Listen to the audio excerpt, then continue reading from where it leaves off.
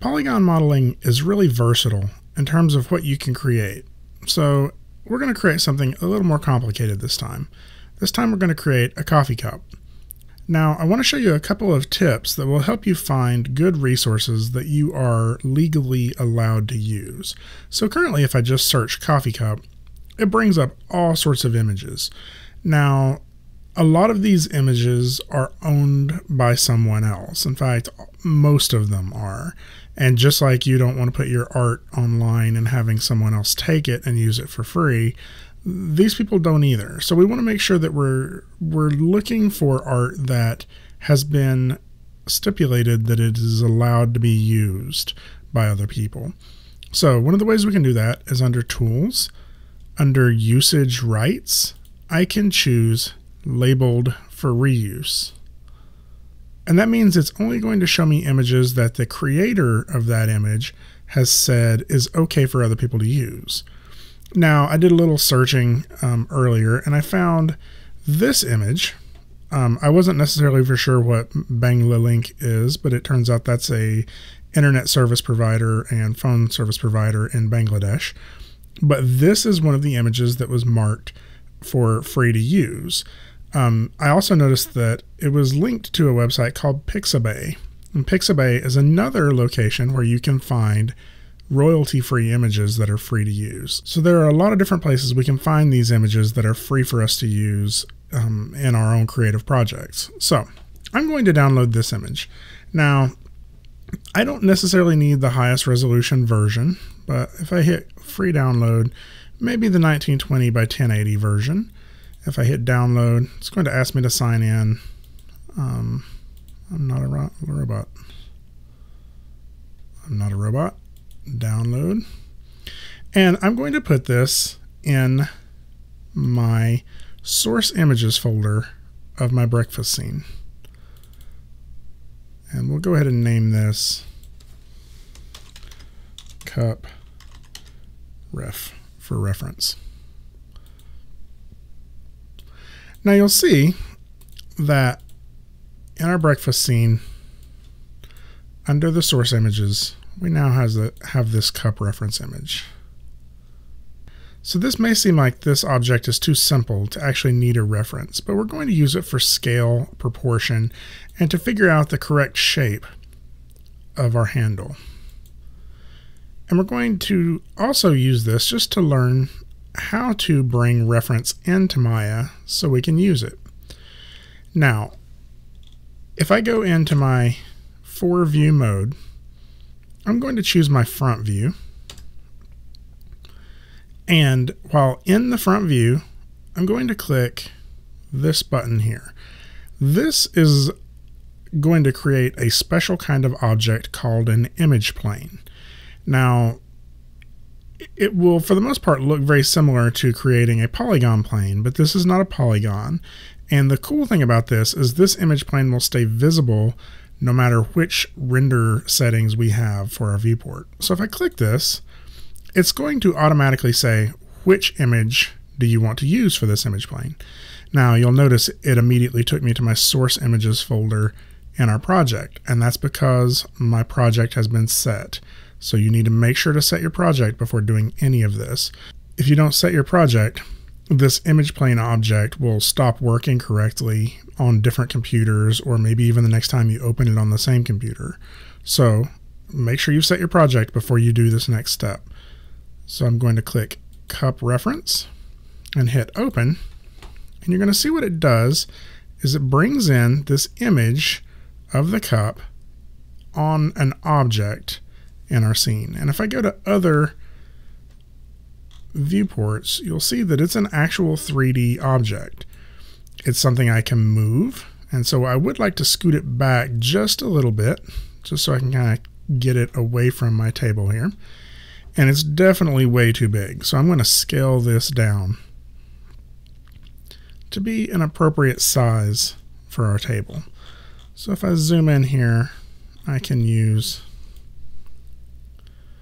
this angle to see roughly what would be the right size for our coffee cup. I like a lot of coffee, so this seems like about the right size for me. Um, I'm going to go ahead and leave this in the center. I'm going to turn off some of these other objects. Maybe move my milk jug over a little bit to keep it out of the way. Um, and what I want to do is in my side view, I want to move this to where it's kind of centered around our origin. So now from this front view, I can use this image as a reference for creating my coffee cup. Now again, the reason we use an image plane is because if I hit 4 to go to wireframe mode, everything else will go to wireframe, but I'll still be able to see the image in my image plane. I can go back to 5 or even 6. So the next question is what object do we start with in order to model this coffee cup? Now, there are actually a handful of different answers to this. Um, we could start with a box if we wanted to. Um, we could start with a sphere if we wanted to. But the problem with those objects is we would have to manipulate them a lot more in order to start getting the shape of this coffee cup. The thing we want to ask ourselves is which object is going to get me closest to this coffee cup from the very beginning? Which object am I going to have to manipulate the least in order to get a believable model of a coffee cup? Now, there's a couple of options. If I go to create polygon primitive, you'll see that we have cylinder as an option, but you may also notice that further down we have pipe. So these are very similar objects. Let's, let's create one of each. I'll go ahead and create a pipe and I will create a cylinder. And in the perspective view, we'll look at both of them off to the side. Now you'll notice that our cylinder is a solid cylinder object. And so one of the issues we may have with creating a coffee cup is there's no hole in the top of it for the coffee. Our pipe has the opposite issue. If we put coffee in it, it would fall through and land on the floor. Right? It has no bottom. So actually, either of these will work and that's one of the complicated parts about modeling is that there's no no single it's there's and that's one of the most complicated parts about modeling is there's no single correct answer one modeler may use the cylinder to get there the other one may use the pipe so for me i'm going to go ahead and start with a cylinder and that's because i'm thinking a couple of steps ahead and asking myself, what are the next few steps that I'm going to have to do in order to get this closer to the coffee cup? Some of that will come with experience and trial and error. So let's just go ahead and delete our pipe by selecting it and hitting delete. And I'm going to go back to my front view and I'm going to move my cylinder into place to try to line it up with my current background image plane. Now I can't see the image plane right now, so if I hit 4, now I can see the wireframe on top of the image plane, and I can use this as a way of manipulating this object. Now you want to be careful when you're scaling. It would be very easy to just say, oh, I'll scale in this one axis. But if I do that, I'm actually making my cylinder squat. Right? I want to scale the entire object. That way we stay in the same proportion. And then I can just make it a little taller.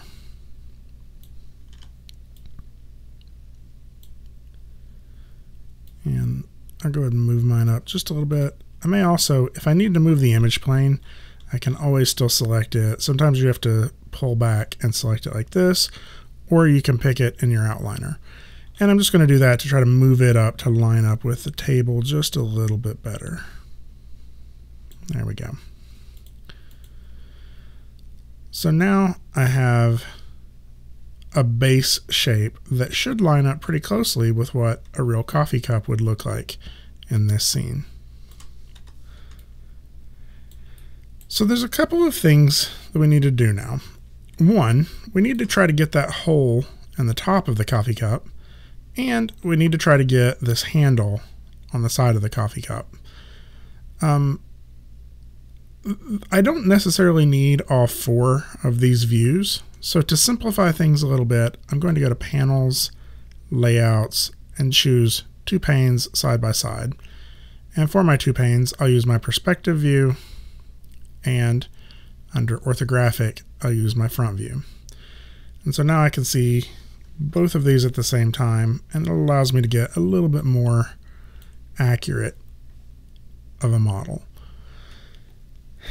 So some of you may already have some ideas on how we can get that hole in the top of our model. Um, however, there are several options for how we can do this, but the easiest is probably just going to be to extrude it. Now I will point out, we can add some additional subdivision caps if we would like, to where we can have more detail to push in, and we could also add some more height caps. But rather than do that, I'm just going to leave mine kind of simple for right now, and I'm just going to choose these triangle faces along the top. So this will be a little time consuming, but I could just select these by holding shift. Sometimes your scale or move or rotate gizmo will get in the way. If you hit Q, it will hide that. And so then I can select these a little easier. There's also, this is also a good time that we could practice some selection tricks. So for example, I could go to the top of this model and drag select all of those faces.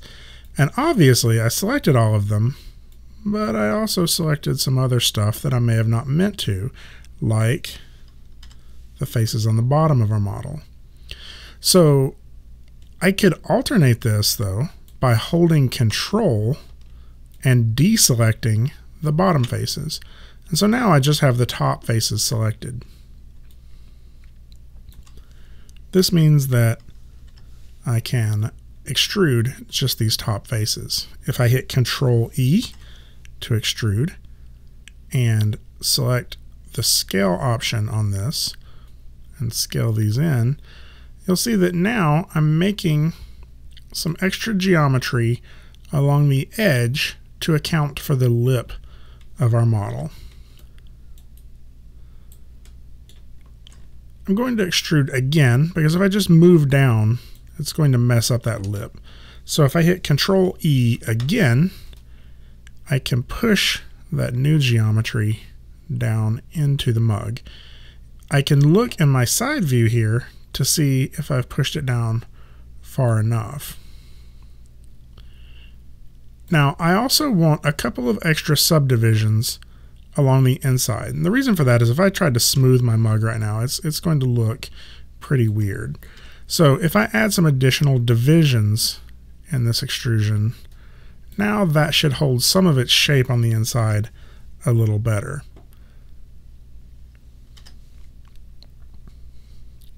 Whenever I want to get out of the extrusion tool, again, I just hit W. Now let's talk about what's happening when I hit smooth, when I hit the 3 button to smooth this. So Maya again is trying to round off all of this area that I have not given enough information about. And so I'm getting this rounded section on the bottom instead of it holding its solid shape. So one of the ways I can do that is just to add some additional subdivisions in here as well. But I've already kind of gone too far just to go back to my inputs and add additional subdivisions. I could try that, but you'll see that it's going to mess up the model pretty badly. So instead of doing that, I'm just going to insert new edge loops in the locations where I need them. So if I go to Mesh Tools and Insert Edge Loop, I'm going to insert one really close to the bottom of my mug. And what this should hopefully do is when I smooth it now, it will retain its shape a little bit better at the bottom. The other thing is, even though I do want the top of this to be rounded, it's kind of rounding a little too much. I want it to preserve its shape a little bit. So I'm going to add another edge loop here. Something I usually like to do is I can also add a little bit of an edge loop on the top here and on the inside of the mug as well to get just a little bit more definition and then I can scale some of this in to start getting a better shape to my mug. If I double click here, I can move that up a little bit. And I start getting a little bit more control of how I'm shaping this mug. I'm going to insert a few more edge loops up and down the body of my mug as well. Mesh tools, insert edge loop. And I'm just going to kind of put these randomly and we'll reposition them here in just a minute. So I'll put maybe three or four in here. Okay. Now the reason I did that is because if I go to this view and hit W, I'm just going to go back to my object mode here. Um, I want to be able to position some of these edge loops to line up with my handle. So if I right click and go to edge and double click on that edge to select it, I can now move it up and down in order to line that up with my handle. The same with this one. If I double click here, I can line that up and down with my handle. Now you'll see that when I'm moving these, it's moving some of the ones I'd already positioned. And so some of that is just, I need to line these up in the unsmoothed version and just add some additional edges to help it retain its shape. And so just to sort of clear up some of that, I'll put a couple of edge loops in this middle section here as well. Insert edge loop. Maybe something like that. And so you see now when I hit 3, it kind of retains that shape, but my edges are still pretty much in the location I want them to be. Okay, so I'm going to go ahead and save this because this next part can sometimes cause some issues. And that's actually a workflow technique that is really good. Is if I go right now, file, increment and save, I can always come back to this file. If I start working on something and I mess something up, I can always reopen base models models.0002 and I will be back at this location and I can just try again. And there's nothing wrong with doing it that way. Now, what I need to do right now is I need to try to get this handle out of our coffee cup. One of the things a lot of people have a tendency to do is to just create a new cylinder or new object to try to make that handle. And although there's ways of making that work, that's actually not going to be the easiest way. So let me show you is if I created this torus object, obviously it's really big, I can scale it down to start to make it a little bit more coffee cup handle size. I could rotate it exactly 90 degrees. And start trying to position this to become my coffee cup handle. And a lot of people will do something like this and just call it quits, or even go in here to our torus and maybe make the radius a little smaller and be like, look, I'm done. And you're not. A couple of reasons. If I look in here, you can see my handle. So even if I went in there and deleted those faces, right, I'm still not done because we can tell just by looking at it that this is two objects, right? And if we look at our coffee cup, underneath here, it doesn't look like two objects. These are actually, these are connected together pretty well. Um, they were probably originally made out of a clay that was fired in a kiln and that fused them together. And then on top of that, there was a glaze on top of them that made it all one contiguous, smooth object. And we can just tell because we've looked at objects all of our life that this is two different objects. We're getting this one object that I've just kind of shoved into another object. So that is not the correct way of doing this. I'm going to go ahead and delete that entire cylinder. Um, and although we could have used that cylinder to sort of stitch this together, what I'm going to do instead is I'm going to find some faces on this model that I can extrude to start to get, it, get this handle. Now, I believe that those faces are going to be these two here. A trick to being able to select those, you'll notice that if I hit 4, my wireframe, um, our grid underneath our table here, this gray line, lines up with this edge. And that's just because when we created our model, we created it with an even number of spans. So that means that the faces I want to be able to extrude are the ones that are going to line up with the grid in the front. So I can sort of drag select and you'll see that I'll get those two faces right there. So I want to be able to extrude those. The other two I want to be able to extrude are these two. So I just held shift and selected those as well. Now there's a couple of different ways we can do this, but I'm going to do it the way we did earlier in some of those previous videos. I'm just going to hit Control E and extrude all of these faces outward. Now you'll notice that my extrude tool immediately has this arrow, and if I grab the blue arrow and start moving them, that's working, but if I pull it too far, you'll notice they, they start getting very wide, right? And that's because it is extruding outward from the face. So instead of using that move tool there, I'm just going to hit W. And that takes me back to my original move tool. I've extruded these objects, I just haven't moved them yet. And so now I can just move those straight outward and they don't flare out quite as much. I can also start to scale those in just a little bit because that handle is probably a little smaller. Now, believe it or not, we're almost done because I just want to get these two faces connected together. I'm not going to worry about getting this shape perfect just yet. So what I'm going to do is hit delete. And so now I have these two open faces. And if I go back to the unsmoothed version, you can kind of see that. Now if I grab these top edges, there, and these bottom edges down here, I can move those forward just so we have like a gap there where we can see. And what I really want to do is line up or connect these edges to these edges. Now we've already learned a couple of ways we could do that, and I'm just going to show you both ways now.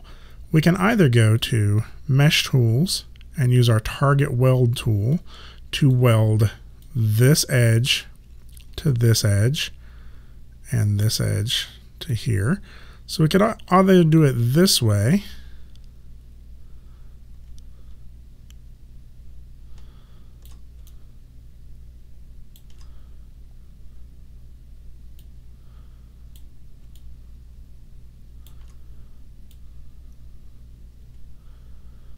is maybe a little more difficult to see.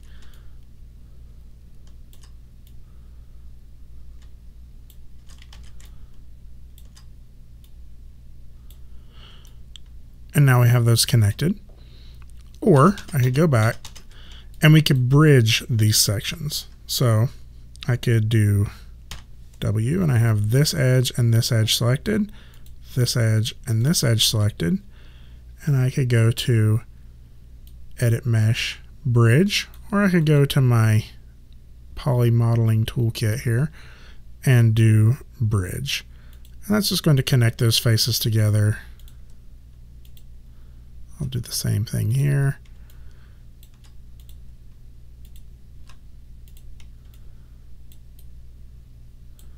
And this is going to require a little navigation to select that and that. I'm going to hit the F key to kind of focus on that.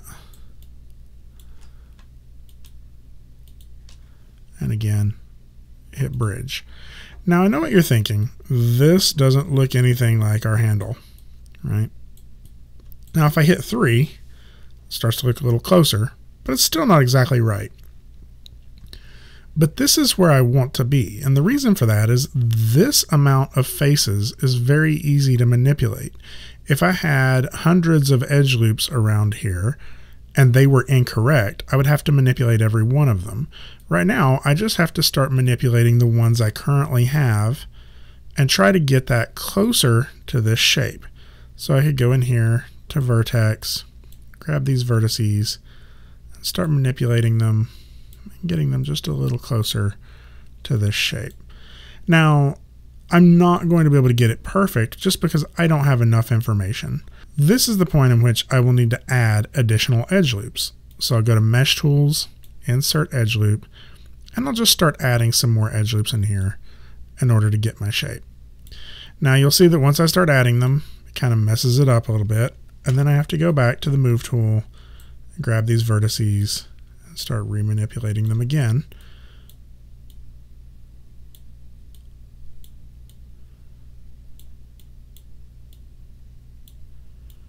But you're going to start to see that we're able to get a lot more of this shape than you might expect with only a small number of edge loops.